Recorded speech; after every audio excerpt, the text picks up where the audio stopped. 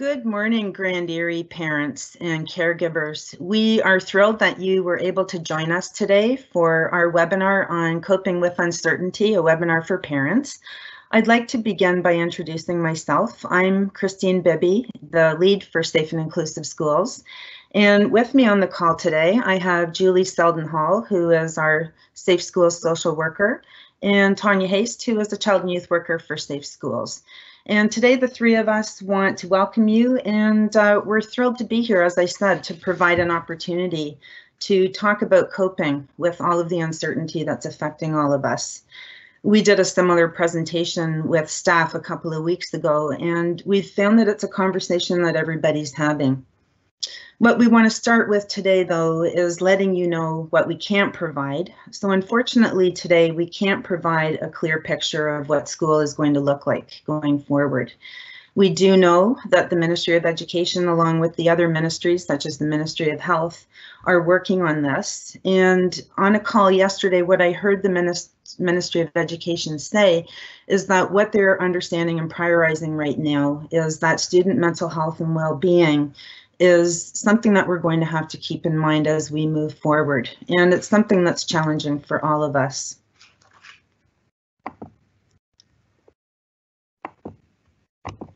So just trying to move my PowerPoint through here for you, having a little technical difficulty.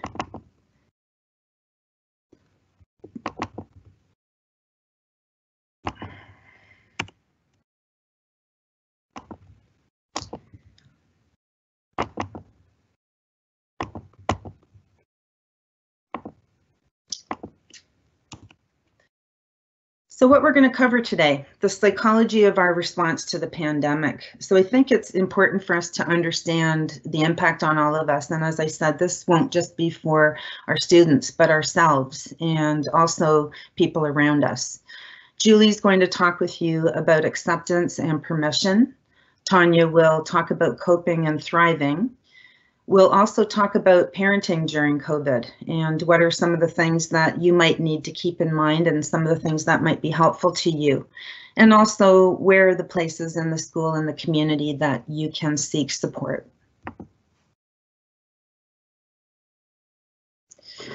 we know that you and your family are being challenged to manage a lot right now. So there is a little bit of humor through this presentation.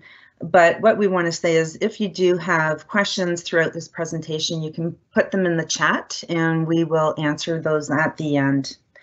And what we want to prioritize is our mental health and the mental health of our children.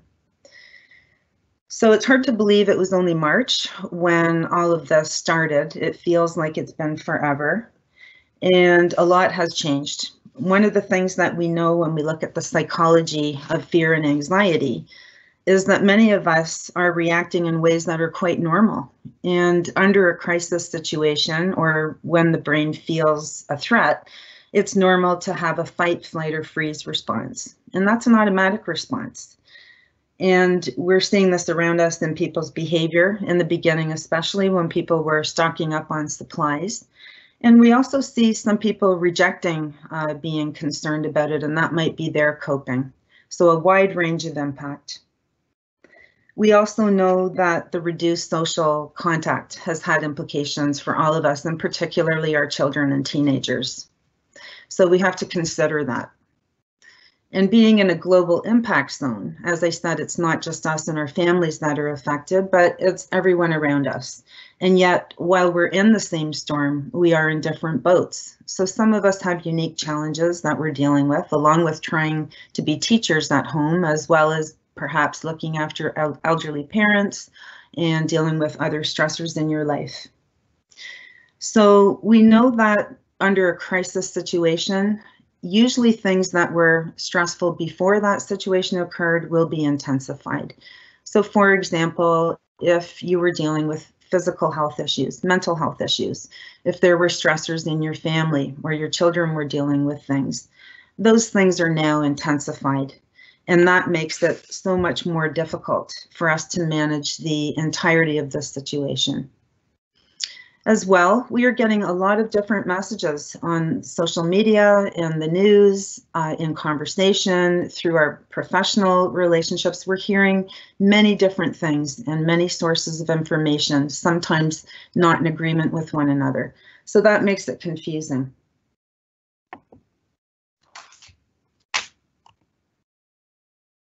So there's no roadmap for this, and we have to think in a situation when things feel so out of control, what are the things that we can control? And one thing that we like to talk about when we consider this is that often as human beings, we become very focused on the macro, and, and the macro is the bigger picture around us. So in, in terms of the pandemic, that would be reading news about, thinking about, and being uh, uh, very um, up on all of the details of how the impact is affecting the world in terms of the pandemic. So that's reading lots of news about it and articles and stories and maybe immersing ourselves in that broader picture of, of this impact. And what tends to happen when human beings focus solely on that is that they feel overwhelmed and they feel powerless and helpless. So often the better thing to do is start to turn in and look at the micro picture. So where are the places and spaces in my life where I can make a difference? Uh, who are the people that need my support? So in my situation, for example, I have two elderly parents, and that is where I put my energy during this time. So for you, it's looking at what do your children need and what do you need as a parent as you try to balance out all of these competing demands. And in light of that, we want to say to you, we know that you as parents on the call today, you're doing your best. And this is a crisis education situation. It's not the same as an online learning platform that was introduced slowly and with lots of support and lots of uh, education beforehand so that all of us knew how to use the platforms. We've all been muddling through it together and it wasn't something that any of us anticipated. So we weren't ready for this shift. So we want to say that we appreciate the stress that is brought into your lives and certainly have heard from parents who've talked about the difficulty that they've had engaging their student, their children. And we want to say to you that we know you're doing your best and that in light of that, we want you to focus instead on your wellness, the wellness of your children, and on how you can be creative and cope and survive during these difficult times. And we know from research that the greatest mitigator of the impact of stress and crisis and trauma is the power of connection. So here's an interesting picture of uh, the changes that perhaps COVID had brought to our lives. I know for my team, we've talked about makeup as being the replacement for uh, shaving. So if you could see us today, you could see that we do have makeup on.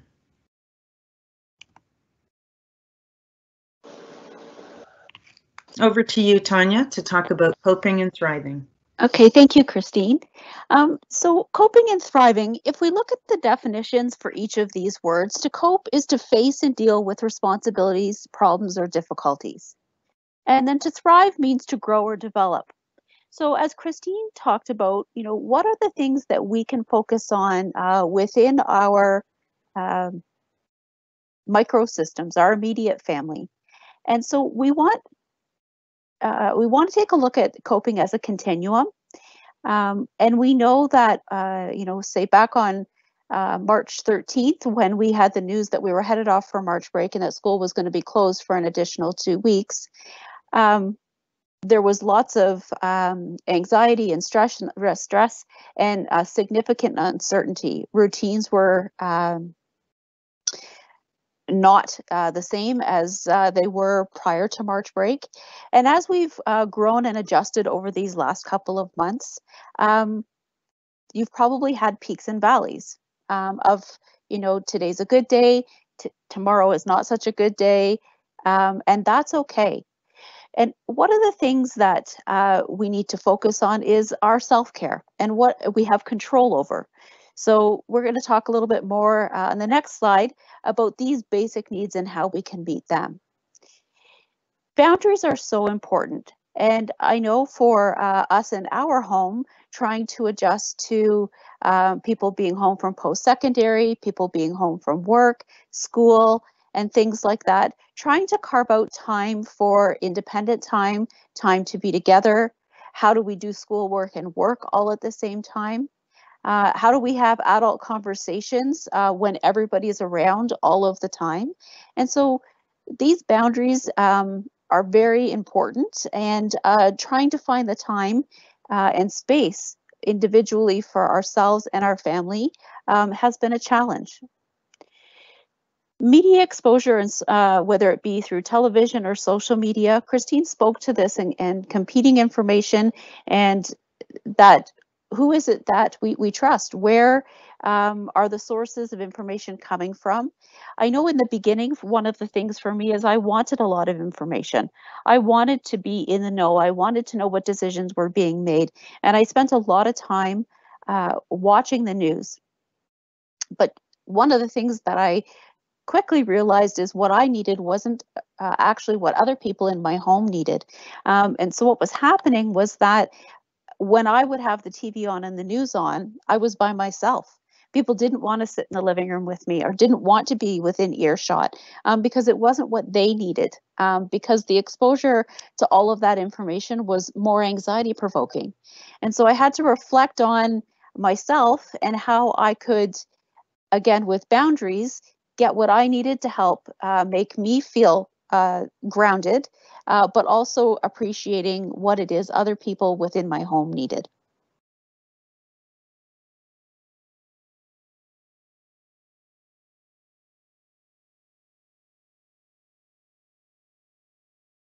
Christine, could you advance the slide, please?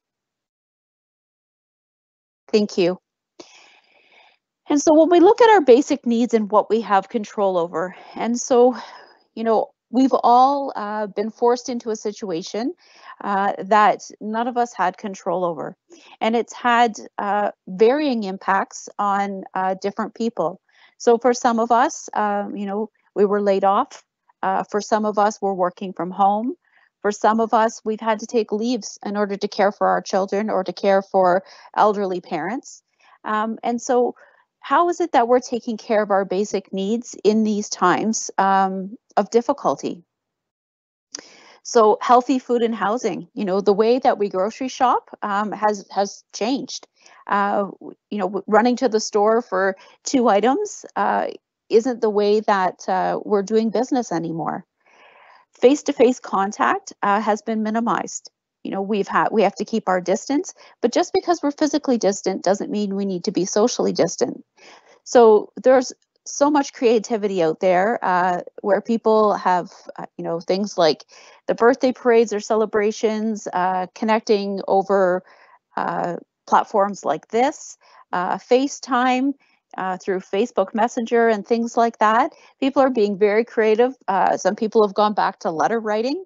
Um, so, trying to stay connected to people because as humans, we're social. You know, we're we're wired to connect with others.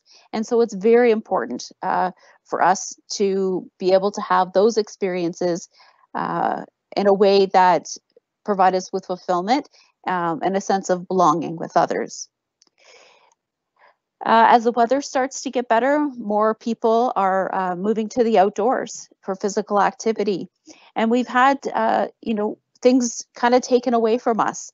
So I'm from uh, the Norfolk community, and one of the things uh, within Norfolk that had been difficult for our community is that our trails and parks and things like that uh, were closed.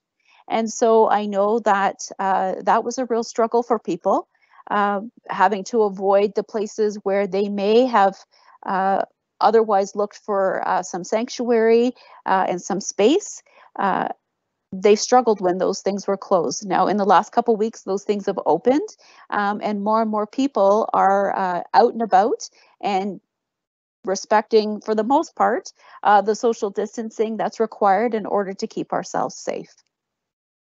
With sleep, sleep is so important, and so our routines have been completely changed.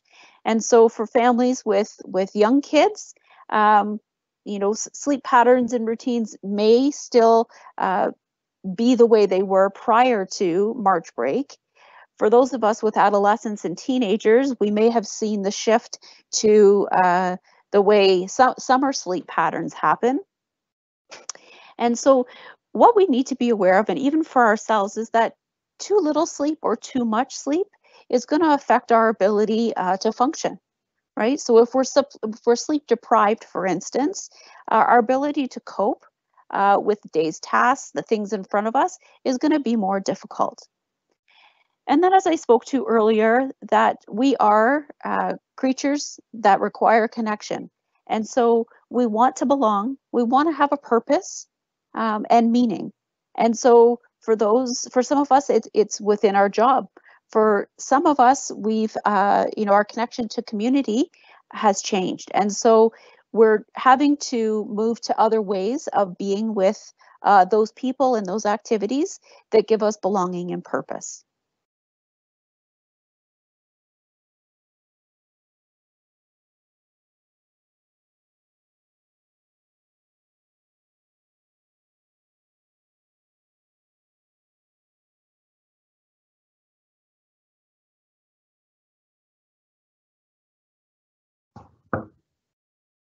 Can we move to the next slide?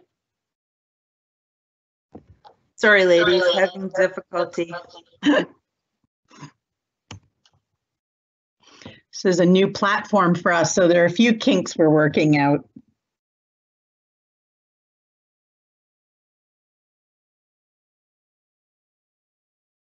maybe as she's looking to uh, switch over there and deal with the technology. One of the things um, that we we are going to talk about uh, as we continue to move forward is healthy stress, and all of this situation has brought on a level of stress uh, that at times may be healthy, but also can be unhealthy. But what we want you to remember that healthy stress uh, gives us uh, the ability to move forward and to grow. And so there are parts of stress that are good for us, right? But uh, stress that is extreme um, can be uh, debilitating and can have uh, consequences for us. And so another cute meme that says exercise, I thought you said extra fries. And so, you know, some days it is an exercise day and some days it is an extra an extra fries day. Julie, over to you. So I'm going to talk a little bit about uh, acceptance and permission. Um, a lot of the advice that Tanya gave is great. Lots of good ideas there to help keep yourself and your family well. I don't know about you, but my self-care sometimes has a tendency to go out the window when I'm in times of stress. So I'm wondering if there's a reason I got this section. It might be some typecasting. I'm not sure. If you are looking at Facebook at all, which I am, it certainly looks like there are a lot of people that are doing really well with this. There's a lot of bread baking going on. There's a lot of crafts going on with kids, people learning to speak Latin, people learning hieroglyphics, all kinds of interesting things going on. And I think that sometimes that can make us feel bad about ourselves or feel like we are not doing quarantine right. We're not rocking quarantine out the way we'd like to. And it's really important to remember it's not a competition. We're all coping during a global pandemic, and we're trying to look after our health and protecting other people's health, which is a big job in its own right and takes up a lot of uh, energy, psychological energy, um, physical energy. The purpose is not to come out of the other side of this a newer, shinier version of yourself. Um, Christine had talked before about uh, the fight or flight mechanism that kicks in. And what that is, is that's your limbic system um, that's kicking in. And the problem with that is what tends to kick out is your frontal lobe. Um, your frontal lobe is where things like concentration, motivation, memory, and learning uh, take place. So uh, something called an expectation gap develops. So it's the gap between what you think you should be able to do, what you hope you would do, um, and then what you are actually capable of doing. And that's not based on, you know, that you're being lazy or anything else. It's based on some brain research in terms of what's happening in our heads right now. So um, there are some things that you can do that are positive. Obviously, reduce the expectations on yourself, and that's kind of a theme through what we're talking about today is to reduce those expectations for yourself and your family. Um, things like play, listening to music, movement, these are all things that sort of um, help get some of that uh, overexcited limbic system to settle down a little bit. Um, the so really we're talking about flow with the experience. Accept your feelings. Give yourself permission to have good and bad days. We're all doing that. Some days you may feel really productive and then the next day you may feel that binging netflix is what you need to do that day. We talk about uh, activities as being either intrinsic or extrinsic. Uh, intrinsic are behaviors we do simply for pleasure and tend to be the things that we tend to feel guilty about spending time doing. Um, extrinsic are things that we do for a gain, like learning those hieroglyphics. So it's partly giving yourself permission to do things that are simply for the pleasure of doing them. Things like a puzzle I think is the ultimate wonderful waste of time because you know you build the whole thing and you just break it up. There really is no gain that comes out of that other than that it's lovely and relaxing and it gives you um, a sense of accomplishment when you're finished. The other thing that's really important is that we are role modeling for our children um, that they don't have to be perfect. Um, and that they can persevere and come through this, and that they are learning things like uh, resilience as you come through this. Um, I think a lot of times we feel badly if we are showing emotions in front of our kids, which is really hard because most of us, um, or certainly some of us, are dealing with our own anxiety. We're dealing with our own sadness about the losses um, for things that are, are going on and things we've had to give up. It's okay for your kids to see that what you can be modeling for them is, you know, yes, I feel sad, um, but these are the things that I'm going to do to make myself better, or these are the things that um, make me feel good that I'm I'm uh, spending time doing, and then that's okay. So there are learning possibilities as you go through this um, for you and for your kids.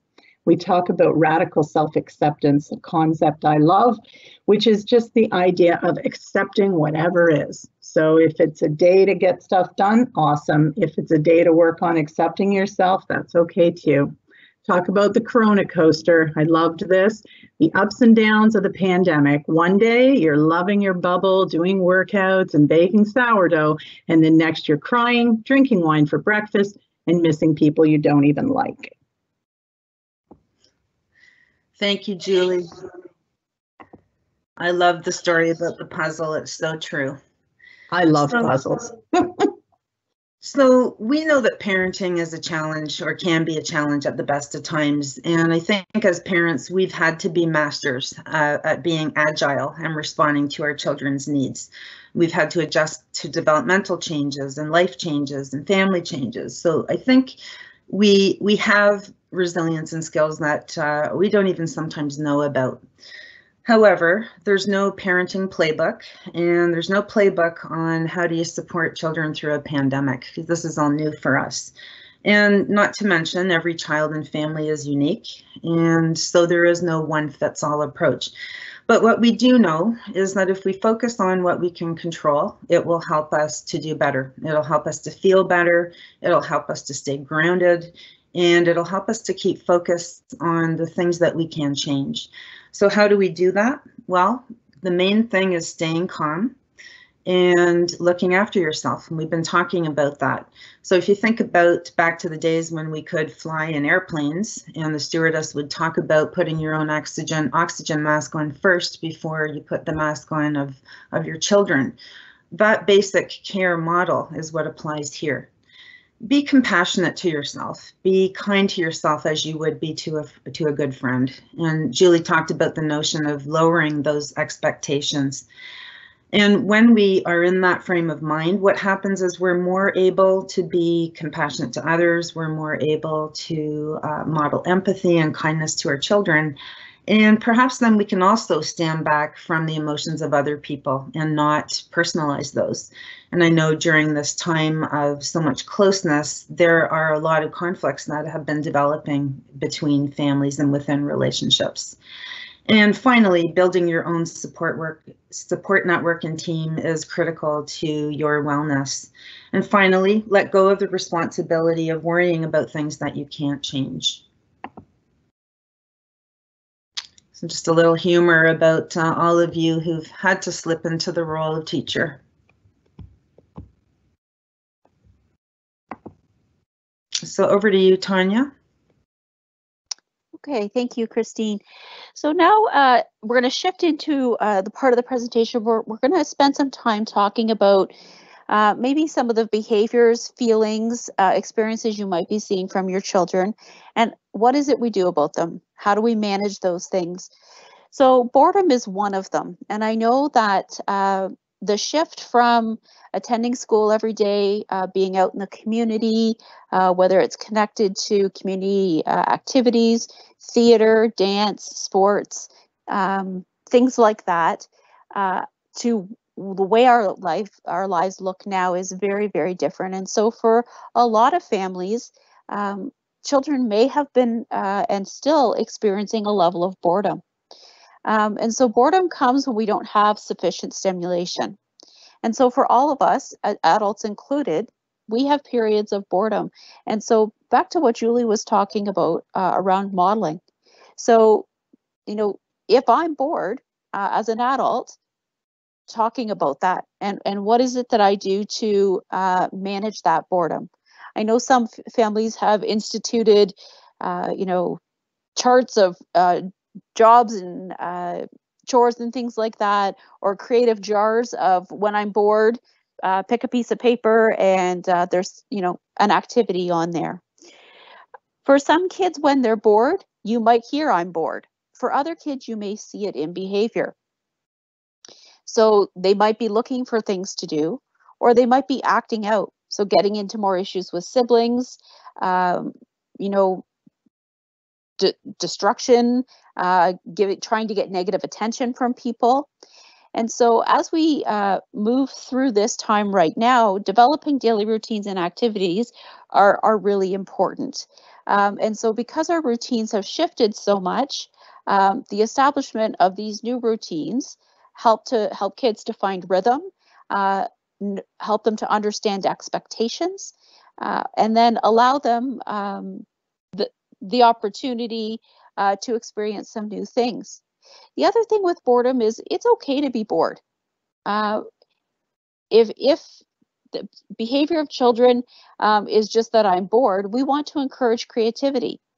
Uh, if with boredom comes uh, difficult behavior, then we also we need to step in and help to manage some of that.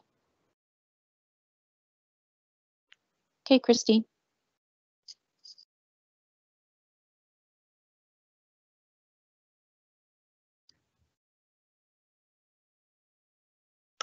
So, worries and anxiety. This may be the biggest thing that we are dealing with at this time. Um, levels of anxiety uh, are high all the time, potentially for individuals, and then also on a societal level as well. Um, I think some of it, as Tanya gave some great ideas, and part of what I like to do is to just kind of do a constant evaluation of what helps. So she had talked about watching the news uh, or talking about it. And some of it is if you're doing that, you know, do some evaluation of does that make it better? Does that make it worse? Um, you know, what I'm finding is that there are certain things that watching, um, definitely anything about states perhaps, um, are things that cause me to have a lot of increased anxiety. So I avoid that. Things like alcohol, um, if the lineups at the LCBO are any indication, a few of us are doing that. Um, and again, just evaluating, does it make it better? Does it make it worse? Exercise, everything. Look at whether it works or doesn't work. So what you might be seeing in your kids um, is uh, things like thoughts um, actually being expressed. And this is great if they're willing to say, you know, I'm worried about not seeing my friends. I'm worried about uh, what's happening with grandma and grandpa. I'm worried about what's happening in the world. And if they're being that open, um, that is a wonderful thing um, because then we're able to address it directly. The feelings that might come, sad, mad, worried, all of those things can be tied into anxiety. Uh, the behaviors that you might see, so regression, uh, acting as a younger child, there may be increased clinginess because um, they're wanting you to be around because you're the one that makes them feel safe. Um, problems with sleep, bedwetting, physical complaints, sore stomachs, headaches. What's important to realize about these things when they are connected to anxiety is that they're real for the child. There may not be an actual uh, physical reason for it, but they really are having the experience of the headaches and the sore stomach. So you don't want to be um, dismissive of that. The other thing with teens, you may see uh, that they're agitated, uh, disrespectful, defiant, sometimes withdrawn, or maybe leaning themselves towards using substances. So what we want to do in response to this is to validate their feelings, empathize with them, and comfort them. What we don't want to do is dismiss their feelings. So they're trying to tell you that that uh, they're worried, and sometimes that's uncomfortable for us um, we may say to the child, well, you shouldn't be worried. Um, you need to be a big boy and not worry about this, those sorts of things. And instead, we really do want to acknowledge what it is that they're talking about. Then we want to assure them that the world is a safe place, that yes, this is something we're dealing with, but overall it is a safe place. We want to say things to them um, potentially. There are a lot of people that are working to protect us. Uh, doctors are working on it. Hospitals are helping the people that are sick, and most people get better. So there are lots of things we can say to reassure our kids, and that's really important. Uh, also, avoid the avoidance. So, support your child in facing their fears step by step rather than uh, not talking about them. There's some good open conversations that uh, will help your kids.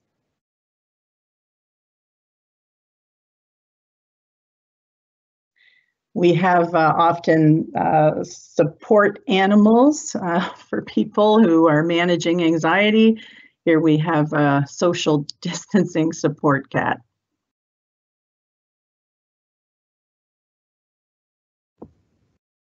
Thanks, Julie. So I'm going to talk a bit about sadness and experiencing sadness is to be expected right now for all of us.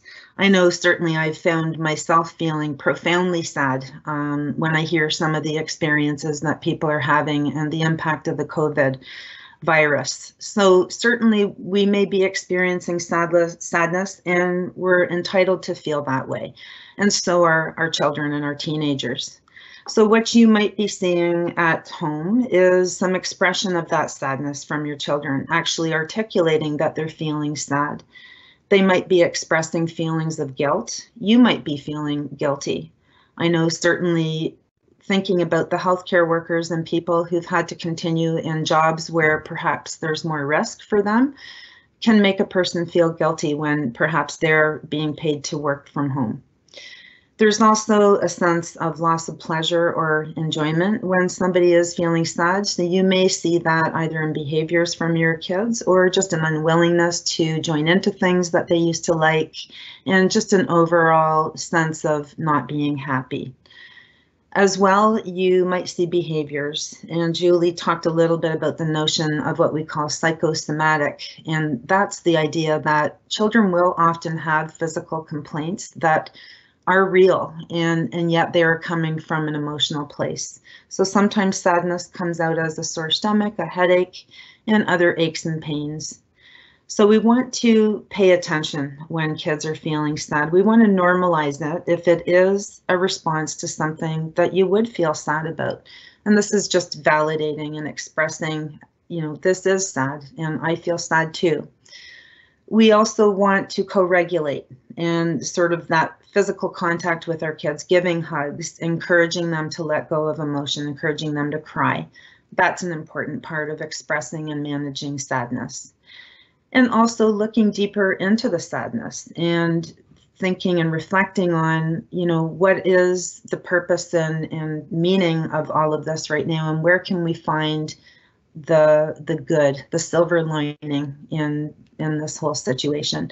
And so one of the things I've heard some people talk about is the opportunity to be together with your family and maybe the opportunity to see things differently or to try different things.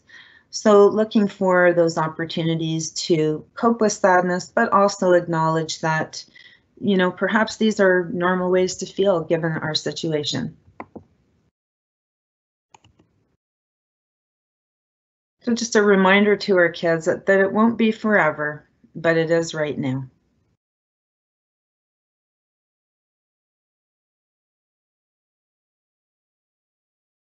Over to you, Tonya. Okay, so anger and aggression. So anger is a secondary emotion, and usually underneath anger is another emotion that's kind of fueling that anger. Uh, so we we want to understand kind of what is underneath anger uh, to be able to help uh, individuals, whether it be our children, ourselves, or even adult friends, deal with uh, that that underneath part. So for some uh, people, you know, you might see them uh, lashing out. You might see physical aggression. For others, it could be verbal. Uh, yet others could be oppositional. So you know, not agreeable, not following uh, through on things, uh, stubborn, withdrawing, things like that. So again, trying to get at that underneath, uh, underneath part of what is it that's causing you to be uh, aggressive uh, in your behavior, your thoughts, uh, and your actions one of the ways that we can help with this again is to is to validate. So if we feel that you know it might be about sadness we can ask and people will tell us right? Kids will say no I, i'm not sad. I'm you know and they will explain. Uh, we want to validate those feelings as we've talked about in the others other slides and allow an opportunity for them to talk about what it's like from their experience and what that feeling is about uh, sometimes with anger, uh, people aren't able to uh, deal with uh, the anger that's in front of them right at that moment. So we need to give space, right? So respecting that uh, now is not the time. And I know as a parent, I have adolescents now, but when my kids were young, sometimes I would put myself on a timeout and that really threw them for a loop. But I knew that I wasn't in the right frame of mind uh, to be able to deal. Uh, and I was angry about something.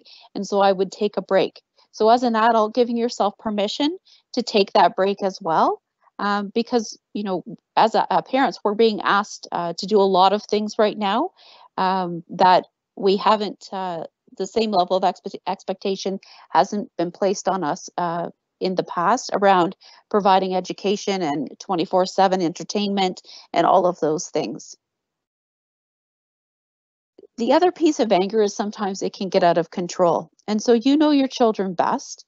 Um, and so if this is you know a level of anger uh, that you've seen from your children and you know you feel comfortable in helping to manage uh, and to deal with that level of anger uh, proceeding is what we should be doing as parents. But sometimes it gets out of control and we want to encourage people to not be afraid to call for help. Uh, in a couple slides, we're going to talk about the services in our area uh, in Grand Erie that are available to help families. And a lot of children's mental health services um, have uh, been given extra funds throughout this time um, to help support families, whether it be through mental health crisis lines and things like that. Um, because as Christine said earlier, we know that people are struggling and we know that children are struggling and we want to provide uh, all the support uh, that we can.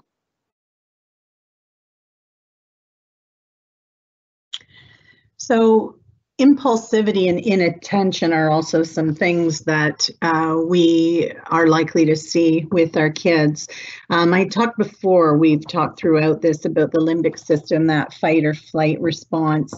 Um, that has to do or affects sort of the functioning of the frontal lobe, which is part of what helps us uh, govern uh, and deal with impulsivity, making good choices. Um, people are looking at uh, drop in the happy chemicals, uh, things like dopamine and adrenaline. Um, a lot of us, a lot of our kids um, may well be understimulated. They don't have a lot to do, and not just it's not just them; it is their brain that is actually understimulated. Um, you may see them um, doing things to try and stimulate their brains, try and interact with others. Um, in perhaps annoying ways. Stop touching your brother stop touching your brother. Um, so the other things that can uh, that kids can run towards is recreational screen time. And that is because that actually raises um, a child's level of dopamine and of adrenaline um, those are things that you may well see in teens um, that they may be really on their phone all the time. Um, they may be engaging in drama because, again, that's pretty exciting for the brain. Uh, risk taking, rule breaking, all of those sorts of things may be uh, linked to some of their uh, what's going on in their brains. Um, one of the things that I was thinking is, you know, we are having to behave in such incredibly uh, conscious and thoughtful and purposeful ways these days. So um, when I go out grocery shopping, um, I'm incredibly anxious when I'm doing that. Um, and, you know, the whole time I'm having to think, oh, don't don't touch that thing if you're not going to take that. And uh, wow, stay away from that person. And um, all of these sorts of uh, things that I'm having to do. Um, those are things that are sometimes quite difficult for kids to, you know, stick to that, uh, behaving really purposefully. On top of it, uh, challenges around impulsivity. So uh, I even think shopping with my partner, who is uh, pretty ADHD, um, I am constantly reminding him, don't touch that, don't touch that. if you're not going to take that, don't touch it. Um, and uh, part of what I'm doing there is I'm sort of being the external brain for him. So I'm providing him with constant reminders, refocusing. Um, I think what's important is to realize that your kids aren't doing this purposefully um, that really it may be some of that uh, impulsivity that's coming um, as a result of the fact that their frontal lobe may not be working as well as we'd hoped at this time. Um, so look at finding ways uh, to provide stimulation. Physical activity is a great one. Time in nature, music, all of these things stimulate the brain. Um, balance this with mindful quiet times it's a great opportunity to help teach your kid to tolerate lower levels of stimulation. Our lives pre- uh, present us with lots of stimulation, and most of us are having a time with lower stimulation right now where we're being forced to slow down. Um, and that's not a bad thing. It's not a bad thing to um, learn to have some downtime. There is value. We also would suggest um, some limits on uh, screen time it, it isn't great for kids to be on that um, for lots of uh, hours during the day. Uh, and again, I've said they're going to move towards that um, in that attempt to stimulate their brain and get some of those happy chemicals. So you just want to be aware of how much time they're spending on those sorts of things and um, making sure that you kind of intervene if you're worried about the amounts of time they're doing that.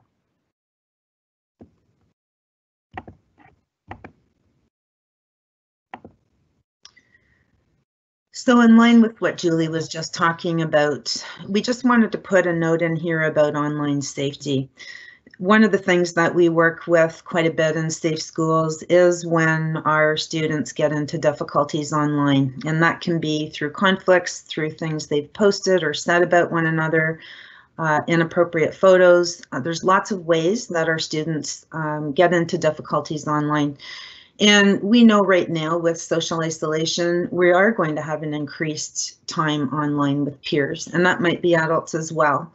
So what we know about the online space is that it tends to be unsupervised by adults. And often we only know after the fact that someone has been harmed or a problem has happened. And often this is because we don't understand or we're not familiar with some of the online tools or platforms that our children are using. So I would encourage you um, to get to know what social media sites your children are following, um, what kinds of things they are posting. Um, you know, friend them on on their on their Snapchat and get to know what it is that they do online. And I know this ch is challenging because often um, children don't want us in that space, but we definitely want to give them an opportunity. So we get to know more about their lives through understanding how they socialize online, and that's a way we can stay closer to them. Just a final note here as well. Uh, from time to time, we have heard of situations in our Grand Erie community where adult predators have taken advantage of the online platforms as a way to lure our youth. And that could include gaming sites as well as social media sites. So this does happen even in our communities. It's not a myth. It's not something that only happens in bigger cities. So that's why, again, we just want to be aware of what our kids are doing online.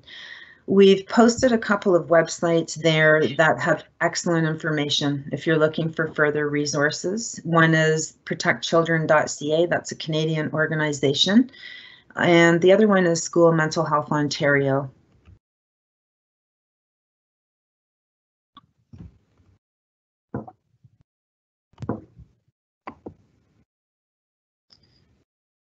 So the next, we're just going to talk a little bit now. Julie, I think your mic is on, by the way. Uh, we're going to talk a little bit now about when to seek help. So we've talked about the different emotions you might see. We've talked about the feelings that you might be experiencing. And, and certainly this is a question that's come up for a lot of people when do I know that maybe things are beyond myself or what I can manage within my family, my friendship group, my support network? And what we would say is that seeking help for ourselves and our children is often based on a number of factors. And we would say the first most important one is safety issues. So if you have any concerns about safety in your homes, safety of yourself, your children, um, that would be a time to consider looking for help. And that help could be, again, for yourself, it could be for your children. There are lots of resources in our communities available. We are going to provide some of the crisis supports, but there are many, many more besides the ones that we'll be sharing today. If there are thoughts of self-harm or harming others, this is also a time to seek help outside of your family these could be situations that turn lethal and we don't want to underreact to our our children talking about wanting to harm themselves or having thoughts about harming other people. The other time would be when our children and our youth ask for help. And as Julie mentioned in one of her slides, when children can articulate how they're th think, thinking and feeling, that's a wonderful thing. And we definitely want to pay attention when they're telling us outright what they need. So anytime a child or an adolescent asks you for counseling, asks you for help, we want to respond to that. The other time would be if you as a parent are feeling overwhelmed and you're feeling like you're at your breaking point, that's a time to ask for help.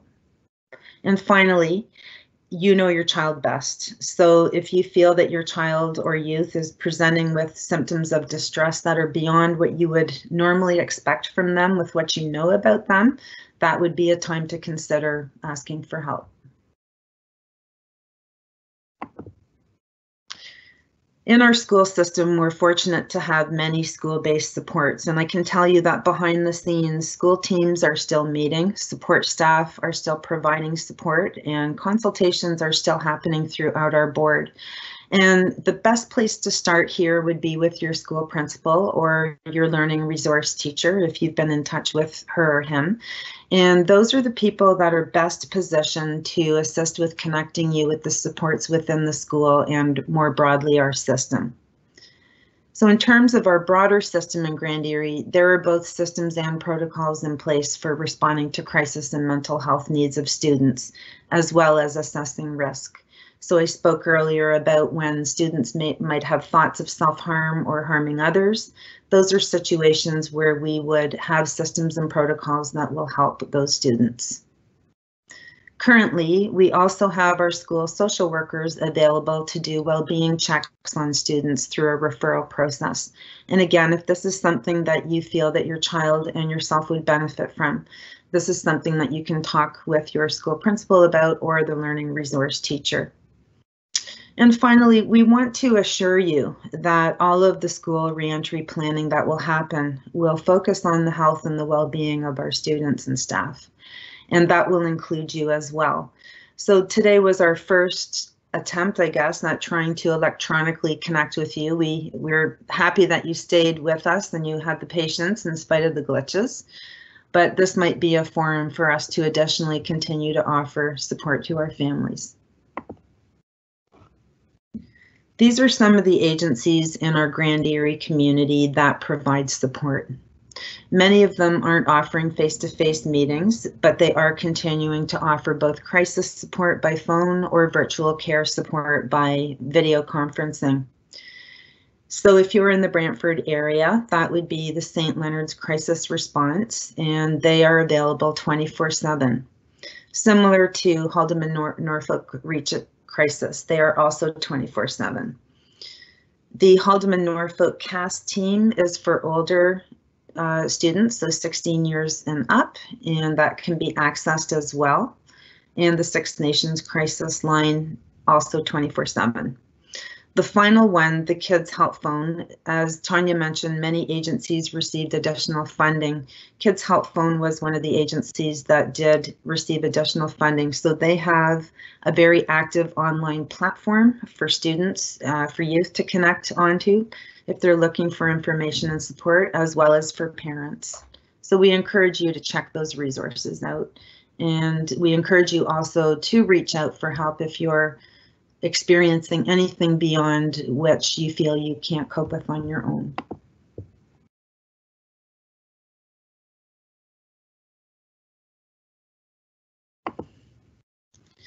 So finally, this is who we are, and we've put our emails up here because we know that some of you may have questions that we can't get to today or may have suggestions that you'd like to share outside of this platform. So we encourage you to take down our emails. As I mentioned earlier, this presentation is being recorded and a copy of it will be made available. So if parents want to watch it or share it, they will be able to do that. And we will also include the PowerPoint with that. So if there